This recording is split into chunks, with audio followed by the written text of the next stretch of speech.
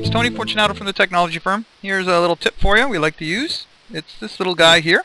It's a USB computer light and it just uh, has a USB connector over here and it's got a light over here.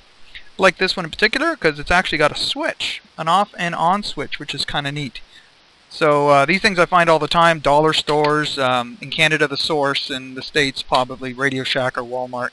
And uh, it was just four bucks. Great little tool. What, what I use this guy for is you um, ideally got a server in a closet, really dark, can't see the wires, plug this in a USB port in the back of the server, and it's got, like I said before, it's got this little switch, so you can switch it on and off and see what's going on. So here, let me demonstrate here on my laptop.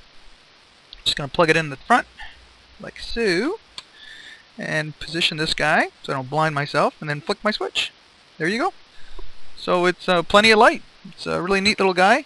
And if you really want to get fancy, you can always put a USB cable on that, an extension cable, and uh, run it anywhere you want in the cabinet. So there you go. Hope that helps. Have a good day. Bye for now.